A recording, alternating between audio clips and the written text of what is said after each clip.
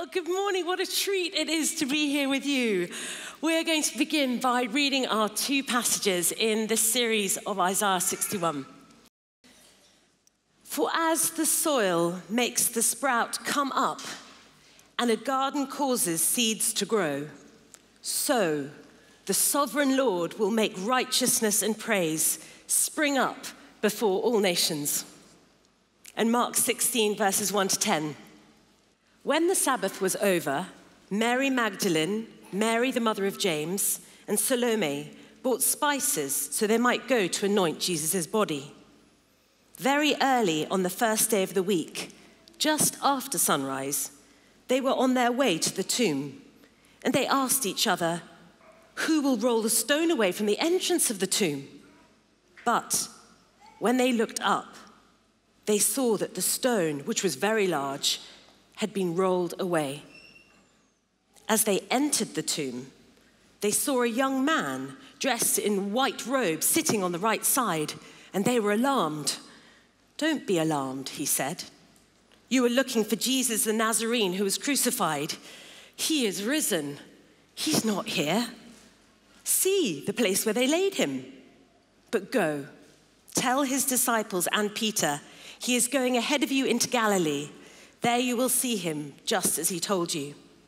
Trembling and bewildered, the women went out and fled from the tomb. They said nothing to anyone because they were afraid. I want to talk to you this morning about what it means to live a power filled life. Don't we all need power as we live in this crazy but wonderful city, London? We need power beyond ourselves to live well. This last week, I was driving one of our daughters down the M4 at high speed when all of a sudden I lost complete power in the car. Complete power. Couldn't accelerate, was trying everything. And um, as I was on the fast lane, which is where I'm normally, um, I found myself having to navigate over to the slow lane and then to the hard shoulder. And what interested me is the sense of vulnerability and powerlessness I felt as all these other cars zoomed past us on the motorway and we were just left there. And I don't know what type of week you've had. I've had a pretty hectic week. It's not been the most best model diary planning week in my life. Um, as you heard, we had the amazing day where my husband received his MBE at Buckingham Palace. Never thought we'd go there. And um, it was such a fun day, but the logistics around it, we had to get one of our daughters fly back from France in 48 hours and I had morning meetings, conference calls. It was not the week for our car to break down. But sometimes we found ourselves in these positions of powerlessness. And what do we do? Well, Tom and I are based at Queensgate, and as you know, on a Wednesday and a Friday, we run the day shelter, and it is such an amazing thing. We went to visit recently, and there are about 150 people who come for the day, and they come just to come in from the, war- from the cold to get warm. They have the opportunity just to read their papers, to sleep if they need to, and they have the opportunity to get warm clothes. And the best bit is they have a seriously great full English fry up breakfast. And um, I was chatting to one of the guests, and he is a lovely man, and he said that he feels so tired he just needs to sleep there. And I said, Well, why is that? He said, I can't sleep where I live, ever. And through no fault of his own, he'd found himself jobless, which led to being homeless, which led to him being in some temporary accommodation where his adjoining neighbor was highly abusive and aggressive and would periodically kick in the partition walls and try and knock down his door. So terrified him he couldn't sleep at night. And here was this lovely man caught in this cycle, in this system, powerless to change it. How many of us in this city easily feel powerless to change our situation and overwhelmed by circumstances that seem beyond our control? I vividly remember a time when one of the times when I hit rock bottom, when I felt powerless. I must have been about 14 years old. And I remember finding myself going round and round on the circle line of the tube. I was just sitting there, slightly in a world of my own, trying to process what had happened to our family in those few months.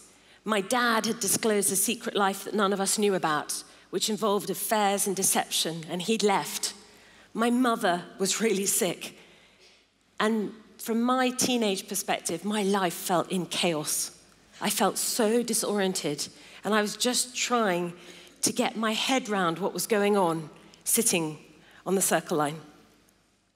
And it wasn't that long afterwards that uh, I went to visit my father, who had moved into a house nearby. And I remember going to visit him and finding that he'd locked himself in, he'd boarded himself into this house. And all I could do was to kneel down and to flip open the letterbox.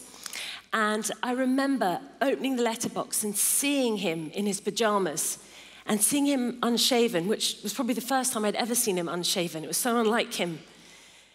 And he wanted, he was attempting to take his own life.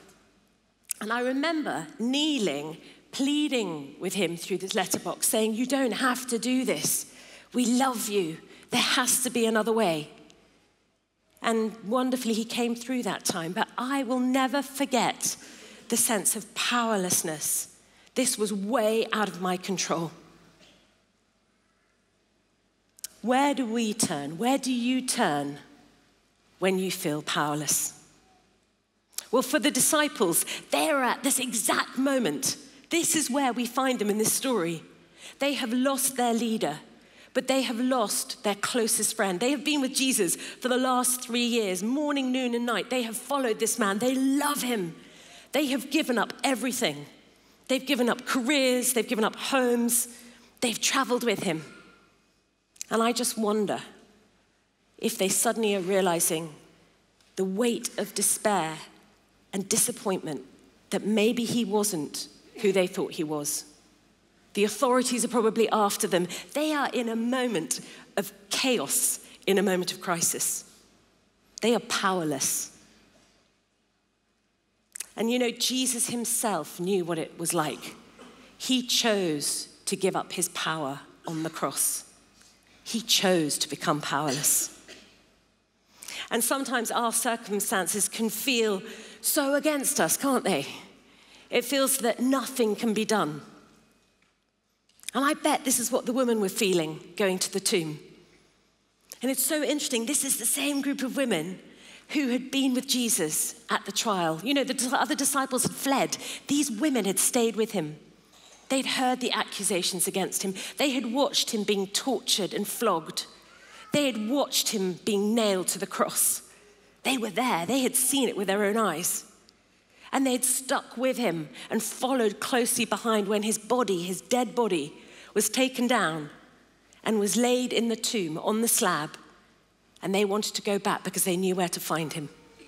And as soon as that Sabbath was over, as soon as they could go, they got up early and they said they get their spices to combat the smell of the decomposing body in the heat. And I love it because it's quite clear they haven't really thought this through. You know, they've left early, and it's only when they're on their journey that they suddenly say to each other, Who's going to move the big stone? They haven't got any male disciples to help them. They had no idea what they were about to step into. They had no idea what to expect. And I would love to have seen them as they round that bend and they see that that stone is rolled away. It's not in front of the tomb. And then what's more, they go in, and I, I wonder if they're just taking a moment to emotionally prepare themselves to see the dead body again of Jesus that they so loved. I wonder if just before they step in there, I would have been like, okay, this is it. And they go into the tomb, and what do they see? They see this angel. We're told it's a young man, angelic being, sitting on the same slab that Jesus' body had been laid out on. And I'm not surprised they were terrified. But what's even worse for them is he then speaks to them. And he says this Jesus, who you're looking for, he isn't here. He is risen. I mean, what does that even mean to them? I mean, they've got no form of reference to that. And I so understand that these women fled. It says they ran. I would have sprinted. They were terrified. They were shaking. They were petrified. What had they just seen? What? I mean, how could they process what this could possibly mean for them? God had done the unimaginable. He had done the totally impossible. He had broken the power and the finality of death itself. Up to this point, death had always been the last word. And you know, the resurrection of Jesus, it's not the fairy tale, it's not the children's Sunday school story. It is a shocking, deeply shocking impossibility. It's never happened before, it will never happen again. And I wonder if it should maybe leave us slightly trembling and speechless, as it did the women at the tomb the resurrection of Jesus is the most significant event in history. It is the most unlikely, implausible, unimaginable, mind bending, concept changing, reality breaking event that has ever happened in the history of mankind or of the world. Because, because a power greater than death has made itself known. This moment, friends, changes everything. And that's what must have hit the woman at that moment. If God can raise a dead body to life, it means that there is nothing that he can't do. It means that every situation, every circumstance, every obstacle, every challenge that you and I face, he can transform completely by one move. And you know, I find it so easy to underestimate the power. I find it so easy to not comprehend the potency of what God can do. And I recall the first time I think I probably ever glimpsed a little bit of that power I was at a John Wimber meeting, and you might recall John Wimber was an American pastor from Anaheim in California. He started the Vineyard Church movement. He was a great friend of us at HTB and really had an impact on our church. And I was at this meeting where he said, You know, I believe, in his wonderful American accent, I believe there's someone here with a cleft palate that God wants to heal. And I remember thinking, Oh my goodness, that is a seriously big ask. Actually, if I'm honest, cynically, I probably thought, I think that is really inappropriate because that is just setting false expectations because there is no power that could do that. But to my shock, the man sitting in the chair next to me put up his hand saying he had a cleft palate. So before I knew it, I was scooped into the prayer team. There were about eight of us, I think, around him. And uh, there was a sort of floating doctor going around, and we called him over, and he kind of inspected and had a look and realized that there was no bone, there was no palate at the top of this man's mouth in this cavity. And they taught us to just lay our hands on and pray, Come, Holy Spirit, with the power of the resurrection, create a palate and all I can say is, I did not take my eyes off this man for about an hour and a half. And while we were praying for him, the heat that came out of him, I mean, we all had to step back. It was boiling. He was like a furnace, absolutely boiling. And then I heard the cracking. I heard his bones in his face start to crack. And I saw his muscles and his jaw involuntarily moving as we were praying. And you know, from time to time, we would get the doctor over and we'd stop him and we'd say, Oh, excuse me, just have a look. And we'd all peer in, we'd see what's going on. And um, sure enough, one more centimeter of bone had grown. An hour and a half later, that man had a palate. It was the power. Mm, thank God.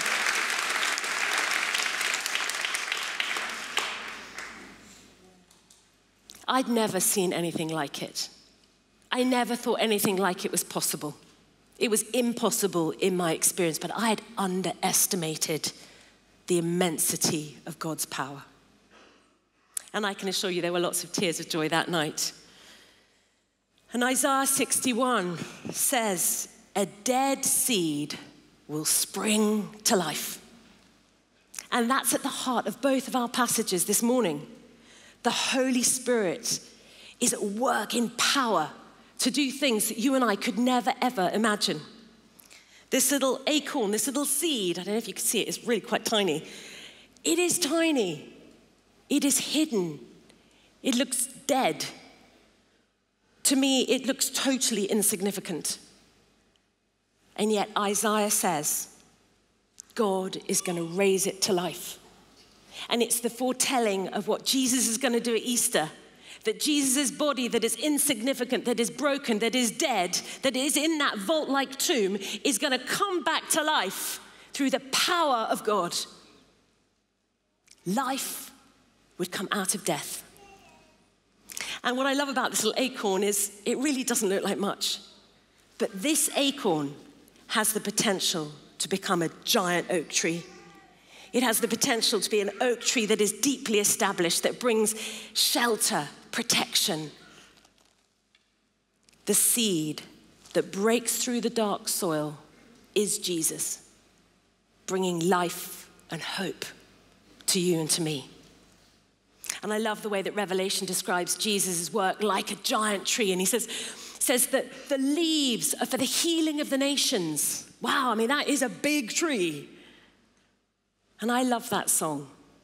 The ground began to shake, the stone was rolled away.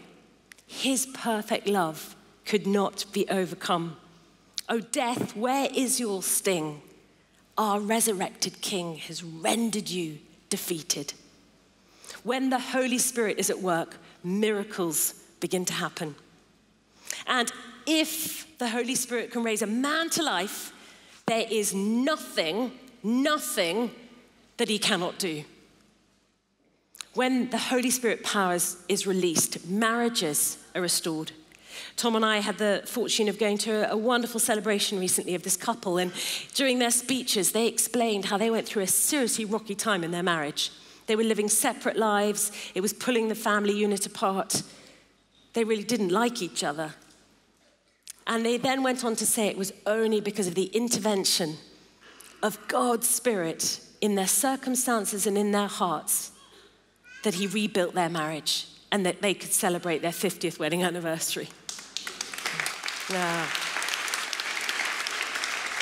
When the power of the Spirit is released, our practical situations change. I met a girlfriend a couple of weeks ago, two weeks ago, and she's got a real desire to head down this certain career path. But in order to do that, she needs training. And she'd applied to everyone she could think of to get funding for this training. And the day I met her, she'd just received her final no. And she just said, You know, that's my dream, that's my future. What am I going to do? It's gone. I, I can't do what I, what I feel I want to do. And we prayed together, and we prayed for a miracle. Last week, she bounded into church, the hugest smile on her face. She said, Sarah, I've had a miracle. It's a miracle. Some unidentified funding had become available, and they'd given it to her. God can change our circumstances. When God's power is released, addictions are broken, lives are transformed, even political situations can be transformed. Do you know, I don't know what you're feeling about Brexit. I mean, eh, probably in this room we have got quite a mixture of feelings on this. But what I feel is that we need the power of the Holy Spirit in our nation at this time. And I want to say thank you to you prayers out there. I want to say thank you for those who are praying for our nation. You know, I love those stories in World War II when we were right on the back foot, where the RAF was depleted, where we were right on the edge of defeat. And the church prayed. The church prayed. And God's power protected us. I want to encourage you if you pray for our nation, God's power is greater than any geopolitical force. Let's pray that God would bless our nation. And when the Holy Spirit is released, he has the power to rewrite history. A couple of months ago, two months ago, on the 7th of September, I read this article in The Independent. I don't know if any of you saw it, but the headline goes like this happy reading. Church of England staring at oblivion as just 2% of young Britons say they identify with it. UK's national religion facing unrelenting decline, research finds. What I found so extraordinary, that was the very month, September, when we launched two new churches in Bristol and Southampton. And I believe that Jesus is very much alive in our nation, that we are not heading over a cliff. And I believe that every church that CRT, that HTB plants, everyone is like a seed going deep into the soil. And we might only see a tiny little shoot coming out. But there is going to be an oak tree, and it's going to be an oak tree that brings blessing, healing, protection, and new life for communities and cities around our nation. And I believe in the words of the angel. Each church plant shouts out, Jesus is not dead. He is very much alive because he is risen.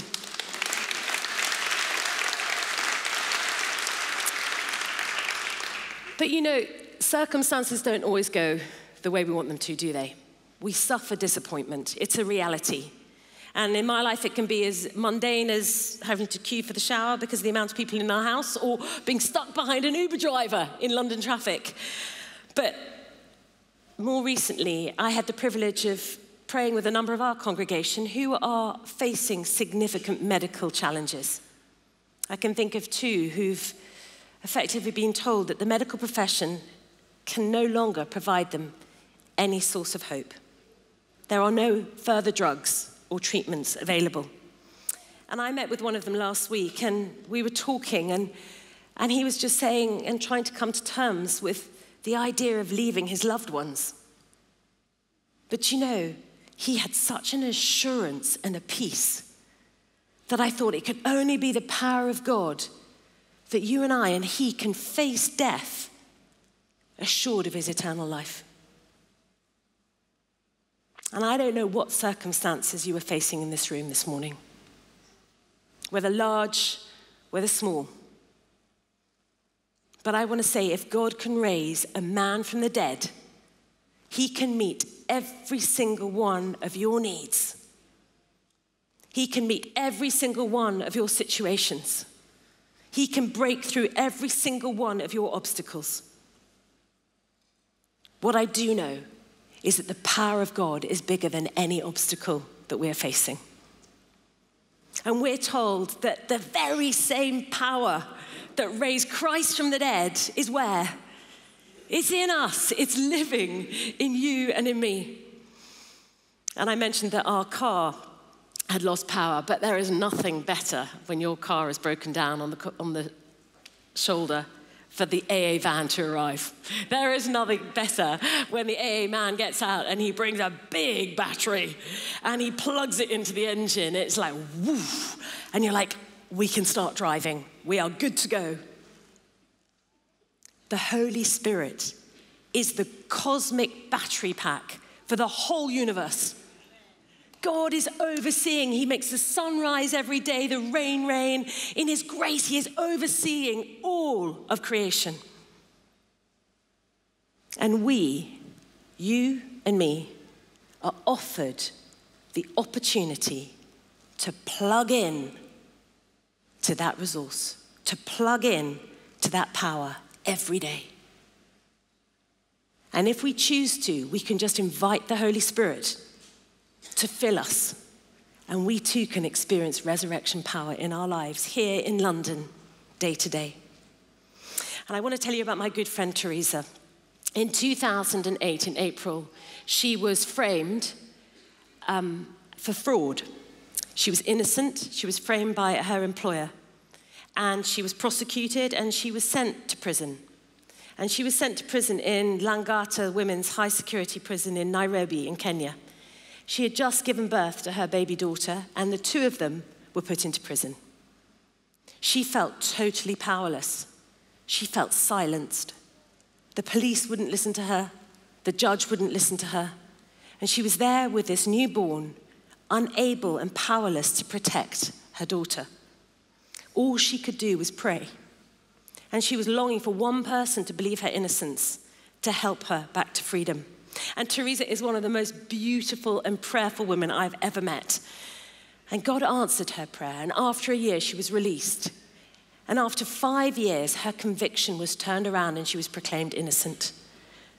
But what is most amazing to me about Teresa's story is what she's doing now. She is going back into those very prisons in East Africa. She has taken the Spear course developed in London and she is using it to give a voice to women and a hope. Now, quite frankly, if it was me, it would be the last place on the planet that I would choose to go back to, a place that has been a place of injustice, of despair. But God has brought life out of death. He brings hope in the darkness. God's power changes everything. And I wonder what you think looks dead in your life this morning. God is able to raise it to life. What dream you have let go of, He is able to raise it back to life.